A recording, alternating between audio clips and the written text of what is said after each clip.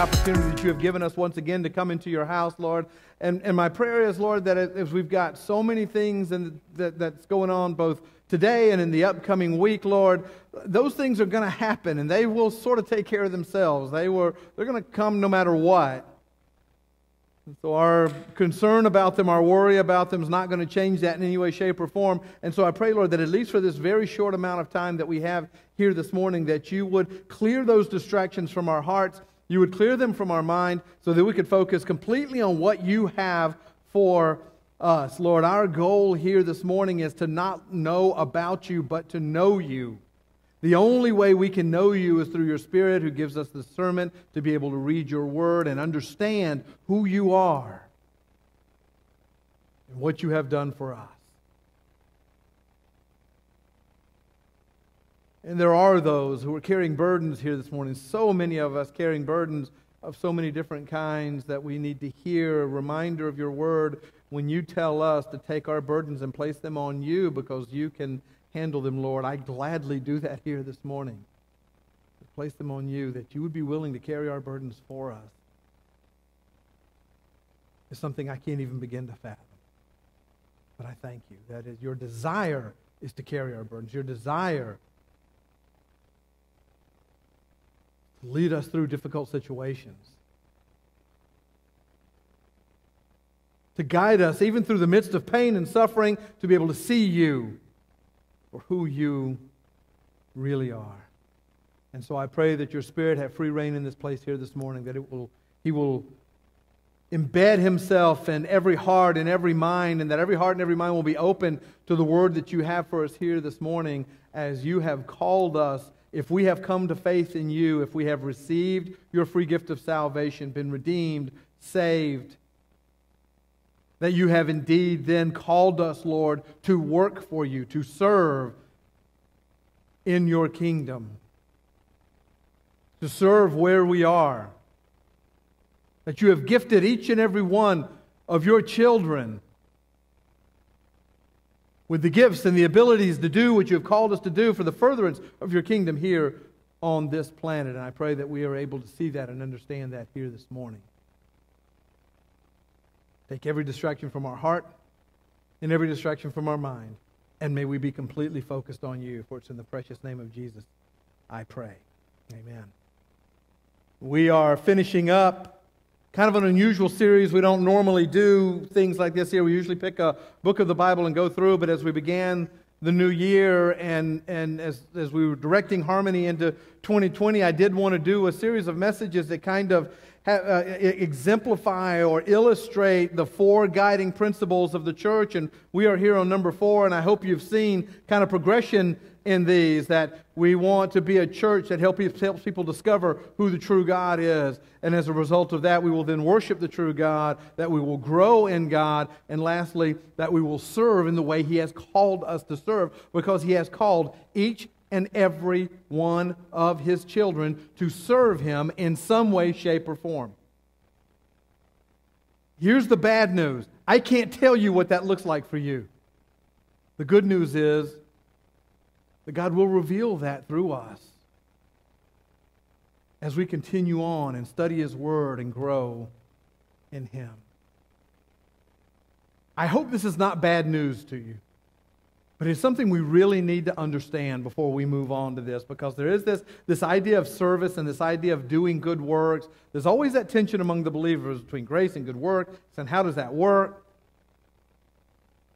But I think if we start out on the right foot, we have a little better understanding of how God works in all of this. And I think starting out on the right foot is by understanding this statement God does not need us. He doesn't need us for anything. If he were to need me for something, that would make him not sovereign. Because a sovereign being doesn't need anything or anybody. So that may kind of be bad news that God doesn't need us. If that's bad news for you, let me give you the good news. He does want us. He desires for us to do His work. Think about that for a second the God of the universe, when we come to faith in Him, We become a believer, saved, born again, redeemed. Again, whatever terminology you are most comfortable with. When we become a child of His, His desire is to use us in order to further His kingdom. He doesn't have to do that. He chooses to do that. He even chooses to, to do that when we try to talk Him out of it. Right? You remember when Moses was called by God? He used every excuse in the book before he finally got to the one he really wanted to get to, and that is just pick somebody else. And God didn't get frustrated with him and say, No, okay, well, if you don't want it, fine, I'll go give it to this guy over here. He had chosen Moses for that moment, as he chooses, chooses all of us to serve in some way, shape, or form. Now, if you're like me, you probably feel the same way about that that John the Baptist did when Jesus came to him to be baptized. I'm not worthy to do anything for you, God. You are the God of the universe. I'm not worthy to do anything for you, to serve you in any way, shape, or form. When we get to that point, that's actually very good news. That's a great starting point. We do need to understand that there's nothing we can do for Him, but that He chooses to use us anyway. It's really extraordinary, isn't it? With all of our foibles, with all of our issues, with all of our problems, with all of our shortcomings, with our capacity to mess up almost anything we get our hands on, God chooses us to serve Him. It's amazing that we can even make that statement out loud. The God of the universe chooses us. What does that look like? Well, that's what we're going to look at here and see what service implies here in this particular passage. We're going to be in Romans chapter 12, verses 3 through 8, if you want to go ahead and go there.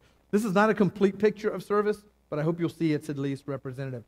And we also need to make something clear before we go through here because Paul gives a list of gifts, for lack of a better word, or different avenues of service. And he says, To those who do this, do it this way. To those who do that, do it this way. To those who do the other thing. That's not to imply that we don't all have all of these things that we're going to be talking about here. That is, that is true. You're going to see these are some basic things, basic aspects of service that every believer has. It's just that some are given, I don't know if the, what the right term, an extra measure of that thing in order to, be, to do what God has called them to do. Does that make sense? So you're going to see as we go through these that it's not supposed to be, well, one person does that one and one person does this one and nobody else is supposed to do these other things. That's not the case. Hopefully, that will become a little more clear to us as we go through. But I want us to be able to take a look in this passage of what serving actually is. And we are in Romans chapter 12, beginning in verse 3, and I will read into uh, verse 8. For by the grace given to me, this is of course Paul writing, for by the grace given to me, I say to everyone among you not to think of himself more highly than he ought to think, but to think with sober judgment, each according to the measure of faith that God has assigned. For as in one body we have many members, and the members do not all have the same function, so we, though many, are one body in Christ and individual members of one another having gifts that differ according to the grace given to us.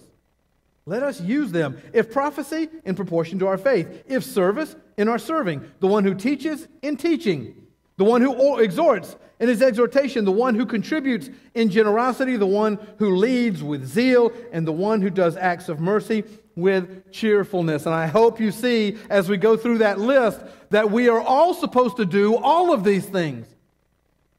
But that doesn't mean that we don't have certain strengths in certain areas that other people don't. Does that make sense? So obviously, so let's say I feel as if God has given me the gift of prophecy and the gift of leadership. I don't then have to look and say, great, now I don't have to care about anybody.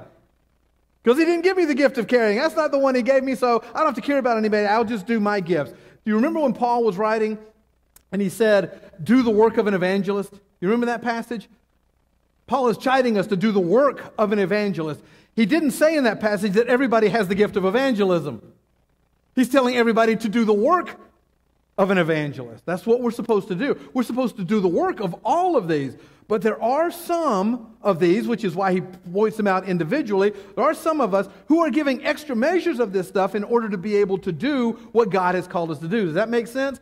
So if we know that God has called us to be a teacher, that doesn't mean we have to ignore all the rest of the stuff because somebody else will pick up that slack over there. No, we're supposed to do all of these things. But there are a few in here that God gives to us in order to do a specific thing. Does that make sense? I want to make sure that this is not a one person has this one thing and nobody else has the rest of it. But these are all things that we are supposed to engage in. So let's go through them here quickly as we move on here this morning. And we're going to take a look at what serving actually means in conjunction with this passage. And the first thing it means is that it flows from God. In verse 3, for by the grace given to me, I say to everyone among you, not to think of himself more highly than he ought to think, but to each with sober judgment, each according to the measure of the faith that God has assigned. Isn't it interesting that when he starts talking about gifts, and you're going to see the first two of them are really interesting. The first two things he says. The very first thing he gives us is what? A warning. He starts out by warning us before he ever gets to the gifts. Why do you think he starts out by warning us about the understanding of these gifts? Because he knows our nature. And he knows our nature is to think way more highly of ourselves than we should when it's not our gift in the first place. So he starts out by talking about grace. This comes from God. This gift you have comes from God. It's used by God. It glorifies God. Any success or any lack of success that comes along with it, all according to God. Because if we use our gifts, whatever they happen to be, if we use our gifts and we start getting recognition for it, that can be some pretty heady stuff, right? You know, I sat in the office of a pastor one time, somebody that I know and love and respect. It was a long time ago. He was a pastor of a church, and it was growing very well, and, and we were having a very honest conversation, probably a little more honest than I had hoped that we would have at that particular point. And he looked me dead in the eye and he said, The reason people, so many people are coming to this church is because of me. He actually said that. That was really weird to begin with and wrong in the second step. We weren't coming there because of him. Nobody goes, if, if they are, it's, it, obviously it's not going to stand, it's not going to last. We have to understand that when He gives us these gifts, if we experience some level of, for lack of a better word, success with them, it all belongs to Him. We are merely the tools that God uses in order to be able to accomplish His will. In Ephesians 2 8 through 10, Paul writes something extraordinary. I know we do 2, 8, and 9 a lot, and we kind of end up there because you'll see as we uh, read through this that those passages are very familiar. But I think we do our dis- ourselves a disservice if we don't continue on and read uh, in verse 10. But here's Ephesians 2, 8, and 9, which you're going to find very familiar. For by grace you have been saved through faith. This is not of your own doing, it is the gift of God, not a result of works, so that no one should boast. And that's generally where we stop. But let's move on to the next sentence. For we are his workmanship, created in Christ Jesus for good works. Isn't that interesting? The passage actually says that we are born again in Christ. If we are a believer, we are created in Christ, born again, saved, redeemed, for the strict purpose of good works. And the sentence doesn't end there which God prepared beforehand that we should walk in them. So even the good works that we do are prepared by God before we're ever even born. We are just the tools. There's this, many of you know, I'm a, I'm a huge Simpsons fan. There's this really ridiculous episode. Of course, I could be all of them. But there's this really ridiculous episode where don't ask me how this happened because it's not important, but Homer ends up going up in the space shuttle. Okay, now when he's up in the space shuttle, obviously being Homer, he does something to damage the ship, to the hatch. And they know that when they come back in, because the hatch is damaged, that they're going to burn up on reentry. And so the other astronauts get mad and they're, they're, they're attacking Homer. And Homer grabs this bar, this rod, this carbon rod, and he rears back to hit him with it. And when he does, the rod gets stuck in the door and actually pulls it too. And he ends up saving everybody. So when they crash land and they're there and the, the press is all around them and they said, How did this happen? One of the astronauts stood up and said, It was Homer. Homer's the one who did it. He's figured out. You, all you had to do was put this bar in the door and he saved our lives. All he did, did was put that rod in there. And then, a little over the top, but the point well made, the press all of a sudden became interested in The rod. They wanted a picture of the rod. The rod was on the cover of Time magazine. They did a ticker tape parade with a big car with the rod sitting in the back of it. We are the rod, right? It, they completely ignored Homer. He was the one who did it. But it was, it's like, it would be like if we built a house and we'd say, boy, wasn't that a great hammer that built that house? We don't do that. We are the hammer. We are the tool that he uses. We have to understand that it is all on Him. He created us for good works. And by the way, those good works that He created us for, He ordained before He ever even created us. Just extraordinary. So He begins with a warning not to think more highly of ourselves than we ought, and that all of this flows from God. The second one is also has an implied warning in there that people will serve in different ways. In verses 4 through 5. For as in one body we have many members, and the members do not all have the same function, so we, though many, are one body in Christ and individually members of one another. In 1 Corinthians chapter 13, verses 20 through 26, Paul gives us a, um, a little better understanding of that. Uh, here we go. It's actually chapter 12, verses 20 through 26 uh, he, he writes, As it is, there are many parts, yet one body. The eye cannot say to the hand, I have no need of you, nor again the head to the feet, I have no need of you. On the contrary, the parts of the body that seem to be weaker are indispensable. And on those parts of the body that we think less honorable, we bestow the greater honor, and our unpresentable parts are treated with greater modesty, which our more presentable parts do not require. But God has so composed the body, God composed the body giving greater honor to the part that lacked it, that there no, may be no division in the body, but that the members may have the same care for one another. If one member suffers, all suffer together. If one member is honored, all are honored together and rejoice. We do not have the same gifts at the same time. We all do different things, and that's good. And not one is more important or better than the other. If one part of the body suffers, then all of them suffer. In the grand scheme of importance in the body, I would think being a lower lip would not rank really all that high. I'm getting here, by the way. I'm getting to something. I really wouldn't. I don't think when you're signing up, you'd say, hey, put me down for a lower lip. I will tell you something, and maybe you guys have never suffered with this. When I was a teenager, I used to get mouth ulcers really bad. You guys ever get those things? The single most painful thing I've ever had happen to me in my life was have these little tiny sores that always ended up in the same place in my body. You want to know where? The bottom lip. My entire body didn't work right because of that one little spot on my bottom lip. Guess what I thought about that whole time? I thought about my bottom lip. The thing I wouldn't normally think about on any other given day. When one part of the body hurts, we all hurt. When one is honored, we are all honored. He says, I'm writing this to you so there will be no divisions among you. He's telling us the reason why he's writing it because he knows there's going to be divisions among us. There are going to be some of us who are going to think that my role is better than somebody else's role, and that is not the case. We all have different jobs at different times with different gifts under different circumstances. But number three, serving also means that there are some roles that are a little more higher profile than others.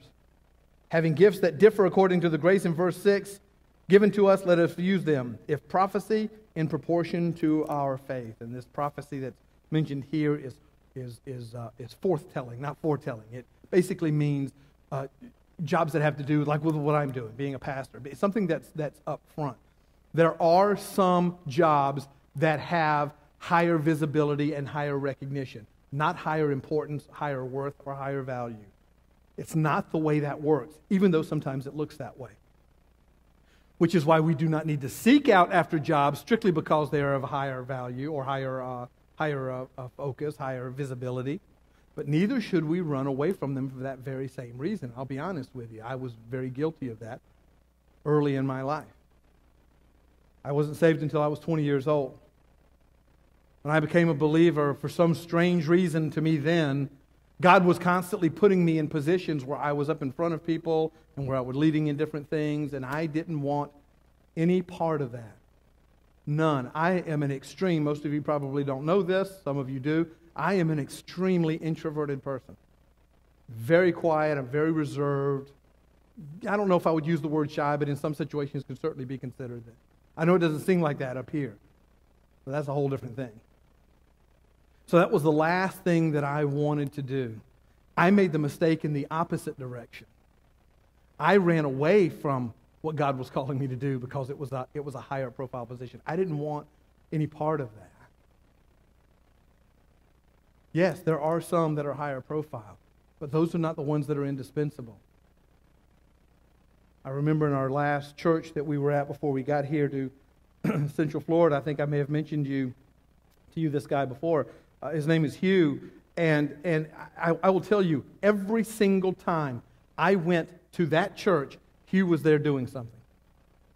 Every single time. I cannot remember one time where I went to that church, that building, and Hugh wasn't there cutting the grass or tinkering with the air or painting this or cleaning that or setting that other thing up. That church, when you looked at that church, you would, of course, recognize the pastor who was up there preaching every Sunday. You would recognize the elders who had a leadership role. And you would recognize the praise and worship team because they were up there. And that church would not have functioned if Hugh had not been there.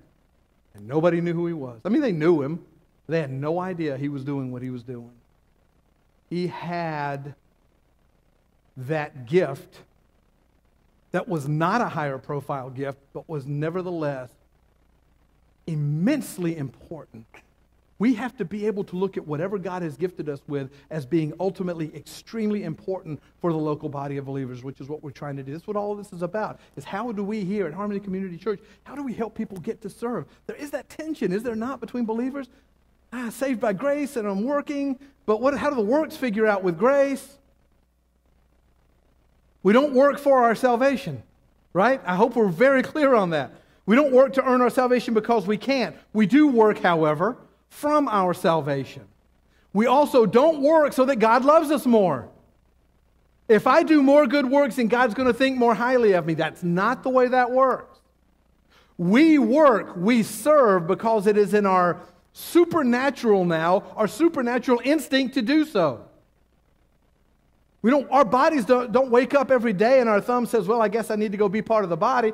The thumb already knows it's part of the body. We don't have to say as believers, I need to go find a way to be a part of the body.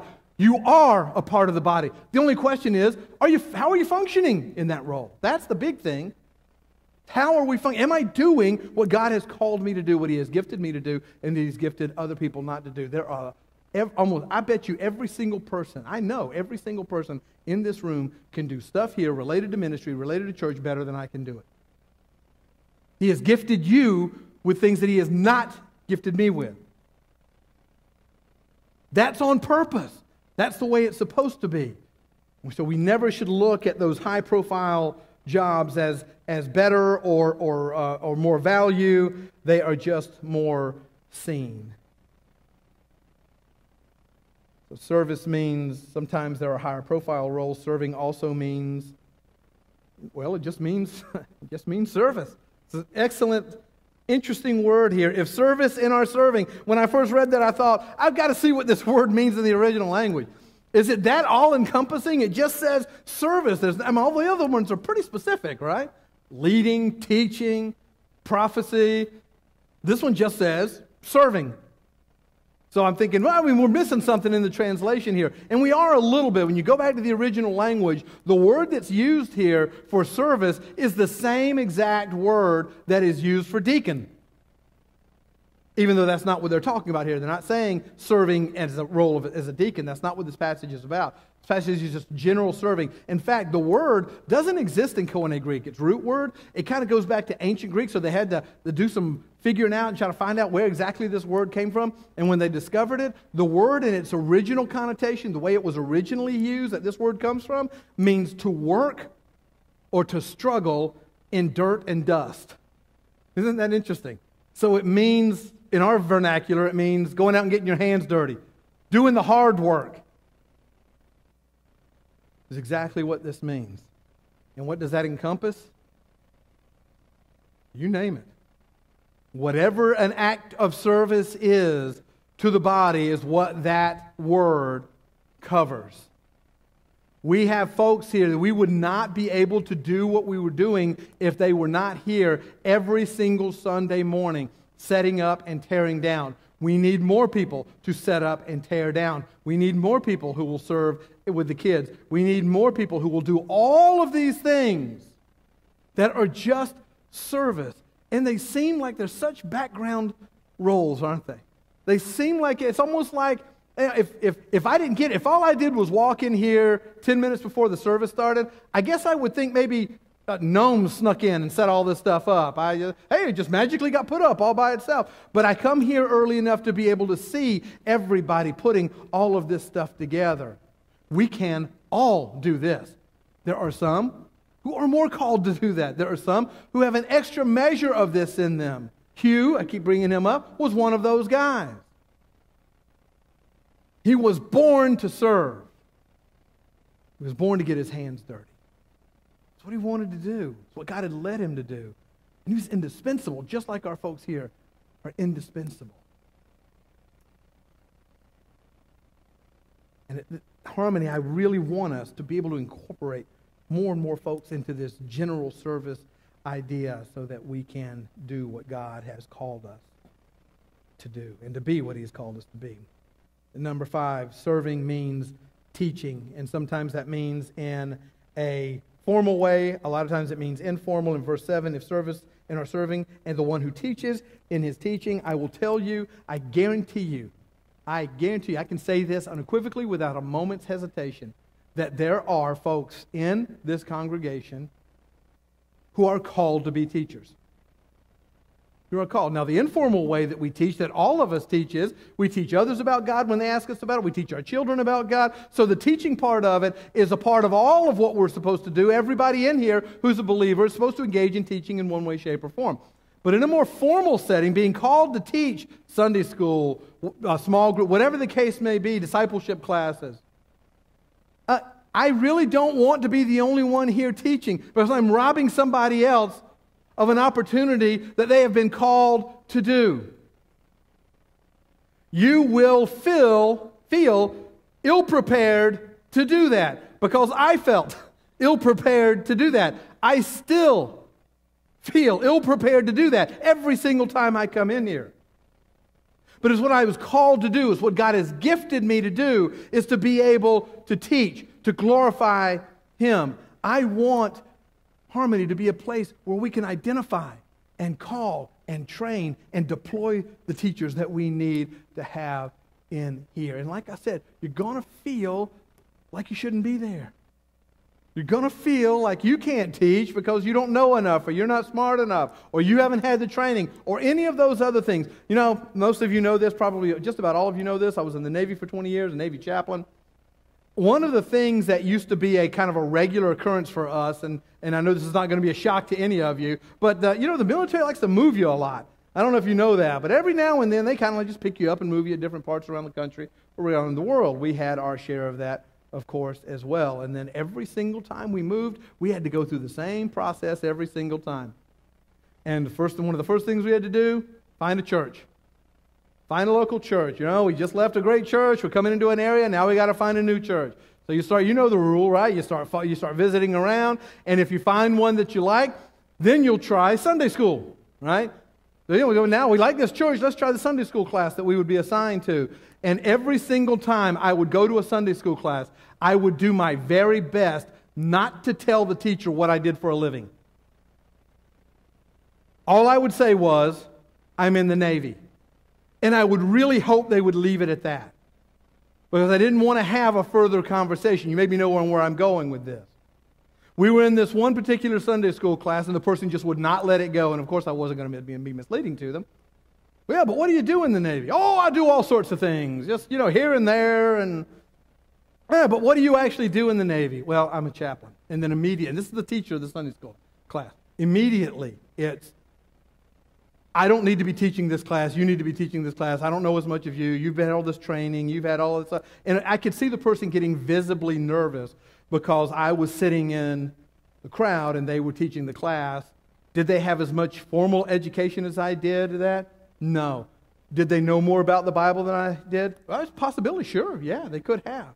But it didn't matter whether they did or didn't.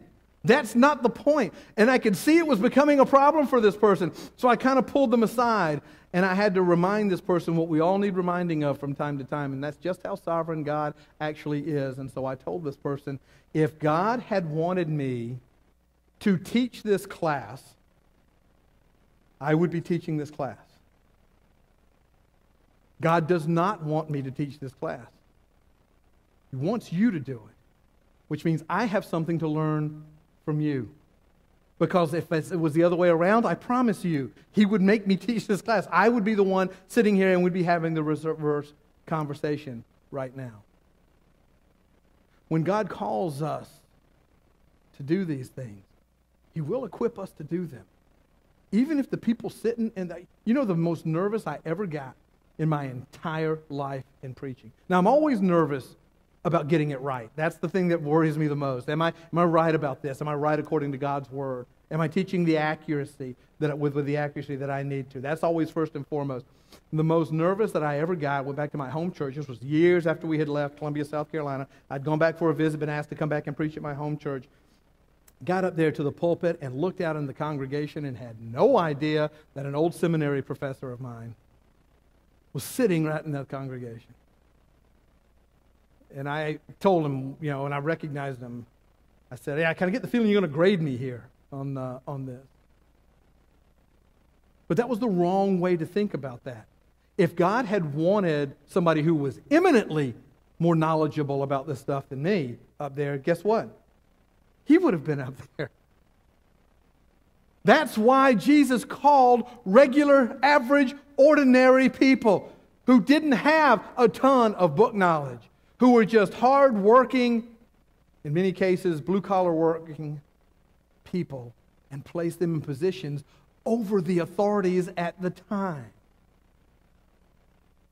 God will call you to teach, and He will give you the ability to do it, and that is what serving is all about. Serving also means caring. I hate to list these as far as importance is concerned, but I would tell you, out of all of these, I, I would probably put this one up at the top of the list. In verse 8, it just says, I don't know what your version says, it says, the one who exhorts in his exhortation. Um, there's an interesting word here I'm going to get to here in just a second, but this word in many different uh, versions has been translated in a variety of different ways. It has been translated exhort, it has been translated encourage. It has been translated to give counsel. It has been translated to give comfort. All of these things are all pretty similar, as you can see. But the word that is used here in the original language is a word. And I don't normally give you the Greek word because it probably is not going to mean that much to you. But this one might. This, this one, when I say it, may actually sound a little familiar to you.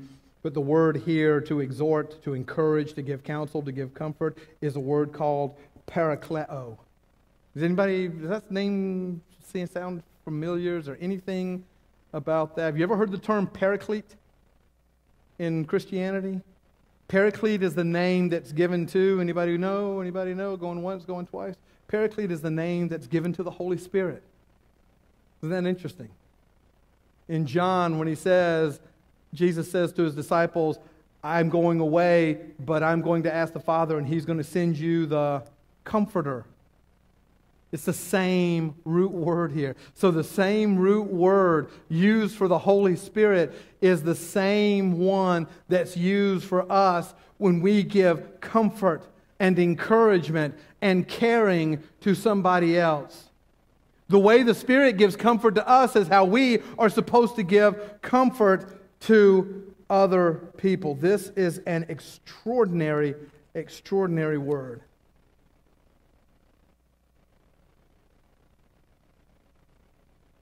And it is one of the most important ones that we could possibly understand. Now, are we all supposed to care for other people? Yes, as believers, yes. Are there some people who just seem to have that thing about them that separates them from other people in caring? That remembers things that other people might not remember, that sometimes are said in passing? That asks people how this is going on in their lives. Since she's not in here now, I can brag on her here a little bit. My wife is the queen of this. I'm really bad at it. I just be full disclosure at it. I'm really bad at it. I'm really bad at remembering these things. I'm really bad at catching on to these things that mean so much to people. I do it, but I don't do it nearly as well as she does. We will be talking to somebody, and she'll say, Hey, you know, the last time we were talking, you told me your cousin's aunt's niece's second and third cousin removed by blood on your mother's side was having gallbladder surgery. How did that turn out? And I'm thinking, by the way, I'm only slightly exaggerating. And I look at her when she does that with absolute amazement.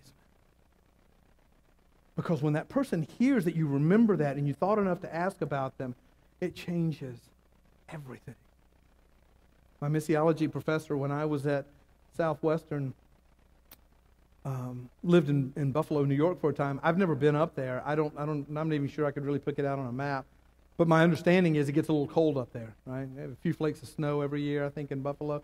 Well, anyway, he said when he lived up there that it was a necessity to have a snowblower, which I've never even seen one. So he said you had to have that or you couldn't get out of your driveway, you couldn't keep your sidewalk clean, or any of that kind of stuff. He had a neighbor that he had gotten to know across the street who kind of, not meanly, but kind of in a snide way, would kind of mock his faith. I can't believe you believe that stuff. He was always, always in the realm of a joke, but it was pretty clear that this neighbor didn't think much of my professor and his faith.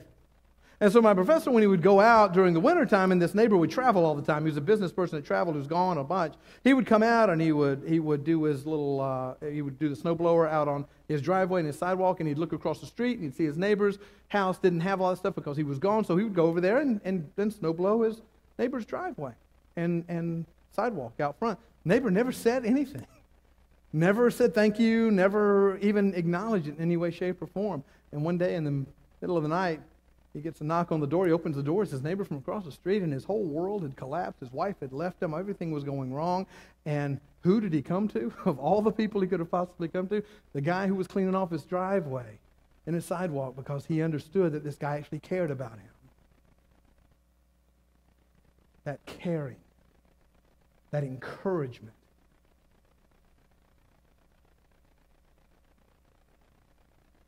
Is extraordinary and can only come from Him. And it has a supernatural foundation. God uses us to comfort and care for others. How cool is that? Number seven, serving means giving. We've talked about that a little bit earlier when I was doing the introduction here in, in uh, earlier in the service. Um, and, and again, this is something we're all supposed to be doing. We're all supposed to be giving. But there are some people that God has uh, moved in their heart and in their lives in order to be able to be extremely generous in their giving, that their gift actually is giving. In 2 Corinthians 9 7, I quoted it earlier, but I want to make sure that we read it. Each one must give as he has decided in his heart, not reluctantly or under compulsion, for God loves a cheerful giver. That, that's it. That is the, that is the grace filled New Testament understanding of giving is that we give what we have decided in our heart based on not doing it under compulsion and doing it out of gratefulness and doing it with a cheerful heart. I want the people at HCC to give, and I want them to give in the way that they're supposed to give, not in the way that somebody might come up and use this passage from the Old Testament and say, well, um, according to this, uh, this passage here, if you don't give this much, then you're wrong or you're robbing God. You know, virtually every giving passage, every giving sermon on the face of the planet seems to emanate from Malachi chapter 3. If you do not give a tenth of what you are supposed to give, then you are robbing God. You know that passage, right? I'm sure you've heard it many, many times. I, you know, I, am going to spill the beans on this one. I'm sure I got a lot of my brothers out there that are standing in pulpits all across the country would not be very happy with me telling you that. That's not what that passage means, and that's not what it's saying. It is taken completely out of context. Yet that's the one we will use instead of the one I just gave you. All of the years that I have been sitting in churches, hearing sermons, listening to them on the radio, reading them, I have only heard one pastor preach on giving from the pulpit from that Second Corinthians passage. Every other one has preached from Malachi chapter 3. Errantly, by the way. I don't care how much you give because it's none of my business. I do care that you give because that's a part of what we are supposed to do. How much, under what circumstances, completely between you and God. I hope you guys will understand that and see that. I believe that when you teach God's truth about giving, then people will be more generous. I really, honestly believe that. You know how many pastors out there would say, I am absolutely insane for talking to you like this. Absolutely insane. You tell them they don't have to give 10%, they're never going to give 10%. You know what? I got more trust in God's word than that. I really do. My job is to tell you the truth. What you do with that truth is between you and God. Some of us have the gift of extraordinary generosity in our giving, and we need to exercise that, as we all need to exercise our service and giving in the first place. Number eight, the passage tells us that serving means leading. The one who exhorts in his exhortation, the one who contributes in generosity, and the one who leads with zeal. I believe the New Testament teaches there are basically only two positions inside of a church that are actual leadership positions pastor, staff, any kind of you know stuff like that, any of the, the ministers on the staff, for lack of a better word, and elders. That's it. Does that mean that the rest of us aren't supposed to exhibit leadership? And no, of course not. But these are more high profile, as we talked about before. These are more higher profile areas of service. But I can tell you, a lot of people look at filling those positions of leadership as coming to the conclusion of that old adage that goes, no good deed goes unpunished. People don't like doing it. Everybody likes sausage, the old saying goes, but nobody likes to see how it's made. And that's sort of, I'm going to be honest with you, that's sort of what it's like being in a leader, true leadership position in a church. Unfortunately, you have to deal with the business part of it. You have to deal with the unfortunate parts of it. You have to deal with all of those things. But God has gifted people to be able to do that, which is why we take very seriously who we bring in as elders and who we bring in as staff people here at Harmony Community Church. But ultimately, I want Harmony to be a place where everybody understands the leadership that God has granted them in certain situations. He's given you the ability to lead in some way, shape, or form. I want this church to be a place where we can discover that, where we can see that and use that to God's glory. And I'm all, I tell you, I'm very wary about people who want those roles. Right? People who are really knocking down the door to get into one of these positions, that makes me a little nervous. You guys ever see the movie Gladiator? There's this great scene where Marcus Aurelius, the emperor, is wanting to turn all of his power over to the, the, uh, the, the, Roman general, uh, Maximus. And the first thing he says after he says, Don't you accept this great honor I give you? Maximus says, With all my heart, no. He didn't want any part of it, even though he was being given the mantle as the leader of the greatest empire that the world knew at that time. And he said no. And then Marcus Aurelius looks at him and says, Don't you understand? That's why it has to be you. Sometimes we are kind of dragged kicking and screaming. I was dragged kicking and screaming into that role. I wanted no part of it. I didn't think I was going to be good at it. I didn't think I had anything like that in me. And the fact of the matter is, I was right about both of those things. But because God had called me to those spots, He then empowered me to be able to do what He has called me to do. I hope that's what we'll see in all of this. All of these things that we are called to do are all associated with Him and His Holy Spirit to do what He has called us to do. And lastly, again, one of the most important ones we can use here is to be, serving means to be merciful. And this amazing word. It's an extraordinary word in the original language. I will give you the definition of that word as it relates to the original word to show mercy, to show compassion, to extend help for the consequences of sin, which means we are supposed to show mercy in the midst of those who have committed some sin. That's what mercy is all about, anyway, right? Is not getting what we deserve. Grace is getting something we don't deserve, mercy is not getting something we do deserve. And we are all supposed to show mercy to one another, but there are those of us who are even more gifted at showing mercy to people. In Matthew chapter 8, there's kind of a blink and you miss it moment, even in the midst of a, of a great miracle. I want to, um, but I want us to read it here real quick. In Matthew chapter 8, I'm going to begin in verse 1. When he, meaning Jesus, when he came down from the mountain, great crowds followed him. And behold, a leper came to him and knelt before him, saying, Lord, if you will, you can make me clean. And Jesus stretched out his hand and touched him, saying, I will be clean. And immediately his leprosy was cleansed.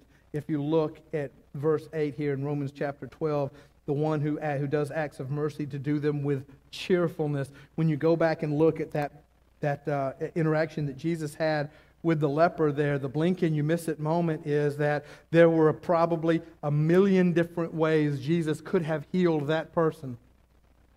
In fact, he healed people in a variety of ways when he walked on this planet, did he not?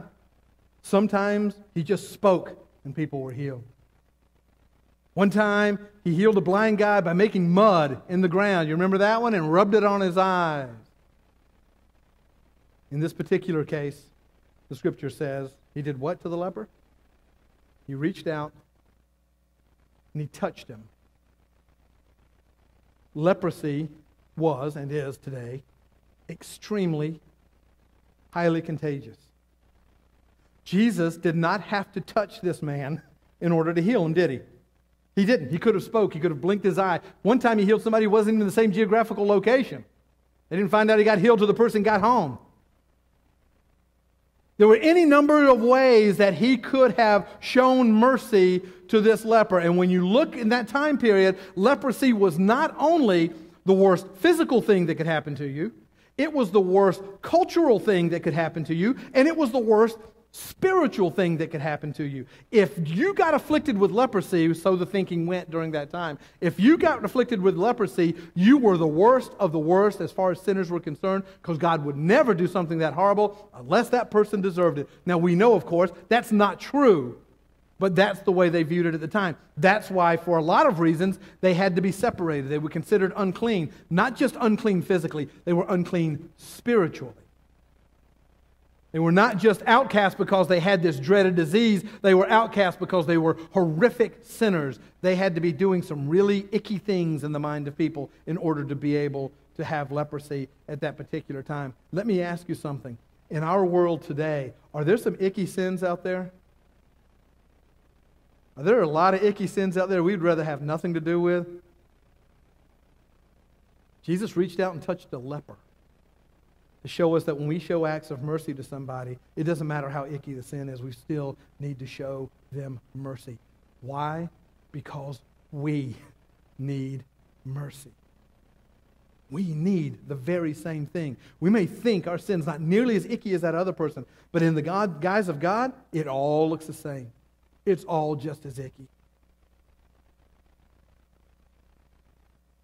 To serve means show mercy.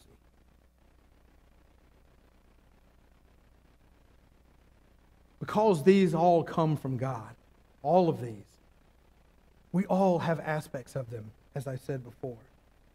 He does give, as I've said also before, an extra measure to those whom he has called to lead in those circumstances. I will tell you something, and I will not, I will not embarrass this person. But we have in this congregation, we have a person who absolutely oozes encouragement. That's in a good way, by the way. Usually you use the word ooze as a bad thing associated with that, right? This person oozes encouragement. This person is one of the most encouraging human beings I've ever met in my life. They have no idea that the things they say to me after and before this service, they have no idea how much it ministers to me. Now, have I been encouraged by others in this congregation? Absolutely. This one person, one person absolutely oozes it.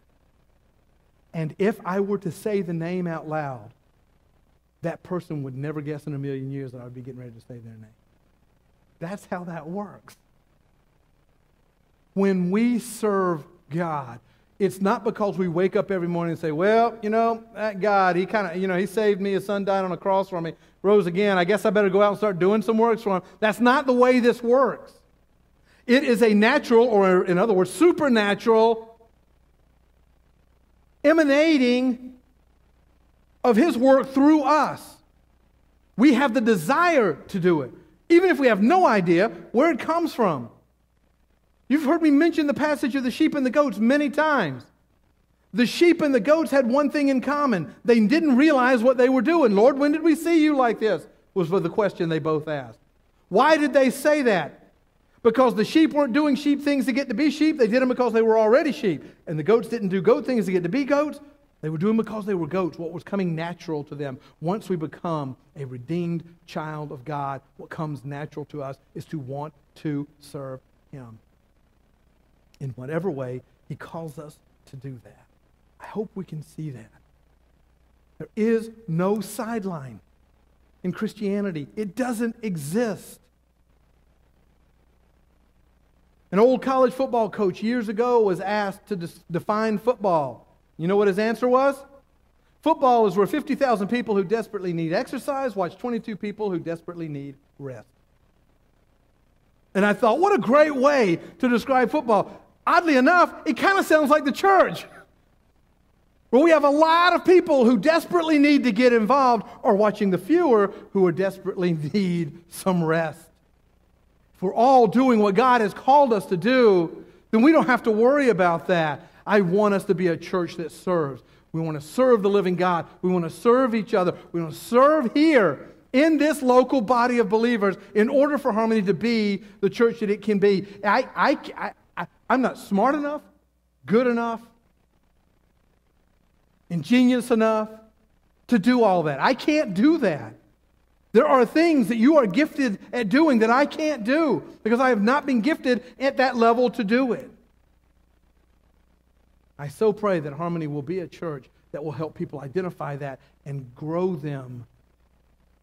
And then the idea of sending them out to do what God has called us to do. God does not need us, He wants us. Let's pray. Father God, I thank you for the opportunity that we have had to look at your word, Lord. I, I, I thank you that, Lord, I thank you that you don't need us. I thank you that you want us, that you desire us, that you have gifted all of us with all of these things we've read, but you've gifted all of us with actually certain aspects of some more than others. And when that happens, we are to be able to identify that and then, Lord, serve in the way that you have called us to serve. And as we shift over into this time of communion, Lord, I pray that we will be able to see that, that that will be a part of this entire process, that we will be able to come to your table celebrating your death, burial, and resurrection, because because of your death, burial, and resurrection, you then fill us with your spirit in order to serve you until that time where we draw our last breath on this planet, and then you say to us, Well done, good and faithful servant. Well done. And it will all be because you worked through us. Until that time, Lord, you have put us on this planet to do something. I pray that you would lead us and guide us as a church, individually, to find out what that is, to be a part of it, in order that we might serve the living God in the only way that we can, by being obedient to you. I thank you for everything you have done for us, everything you are doing for us, and everything you will do for us. What's in the precious name of Jesus, I pray.